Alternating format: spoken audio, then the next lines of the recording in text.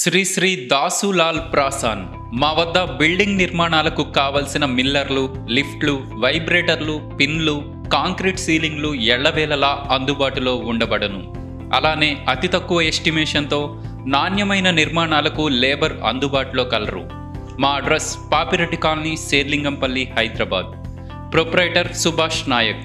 సంప్రదించాల్సిన phone నెంబర్లు nine six double six eight one five one double five.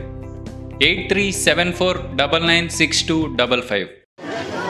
ఈ వరద బాధితుల కొరకై ఏదైతే ప్రభుత్వం ప్రకటించిందో ప్రతి బాధితులకు ప్రతి ఇంటికి పదివేలు మన జిహెచ్ఎంసీ పరిధిలో ఉన్న వాళ్ళకి ఇస్తున్నారు. కానీ ఇక్కడ మా పటంచేరులో మాత్రం వీళ్ళందరూ ఒరిజినల్ ఆధార్ కార్డులతో నాలుగు రోజుల నుండి జరుగుతారు వీళ్ళందరూ వరద బాధితులు వీళ్ళు ఇల్లులు కోల్పోయినాయి. వీళ్ళ కాకుండా టీఆర్ఎస్ చోటా మోటా లీడర్లు ఏం చేశారు అంటే వీళ్ళకి వచ్చిన సొమ్మును రికార్డ్స్లో రాసుకొని ఒక్కొక్క ఇంటికి లక్ష రూపాయలు ఇస్తూ యాభై యాభై వేల కమిషన్ కొట్టేసారు వీళ్ళ పైసలు తిన్నారు.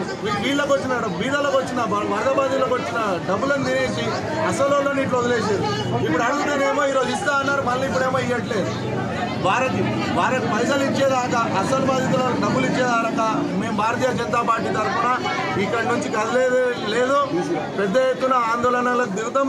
డిప్యూటీ కమిషనర్ గారు వెంటనే రావాలి వీళ్ళకి తగిన న్యాయం చేయాలి. వీళ్ళకి కొంతమంది పైసలు వచ్చినట్టు కూడా ఓటీపీ వచ్చింది కానీ వీళ్ళకి రాలేదు.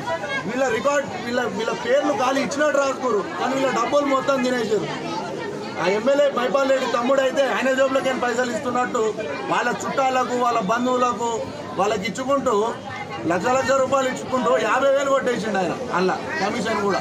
మీకు ప్రూఫ్ చెప్తా మళ్ళీ అందరు ఎంఐఎం వాళ్ళకు అలాగే ఇస్తారు మళ్ళీ ఎంఐఎంలో కూడా గరీబ్ వాళ్ళకి ఎవరైతే పైసలు ఉన్న వాళ్ళు ఉన్నారో వాళ్ళకే ఇస్తారు దీన్ని కూడా ఓటు బ్యాంక్ రాజకీయంగా మారుస్తున్నారు. ఒక వరద బాధితులకు ఇచ్చే పైసలు మొత్తం మిస్యూజ్ చేసేసారు. వచ్చిన ఫండ్ అంతా.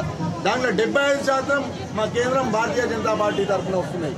అవన్నీ మొత్తం ఇవ్వకుండా వీళ్ళు ఏదైతే చేసిండ్రో వీళ్ళకి న్యాయం చేయలేదనుకో మీకు చెప్పులదండి ఖాయం ఇంకా వచ్చే ఎలక్షన్లో.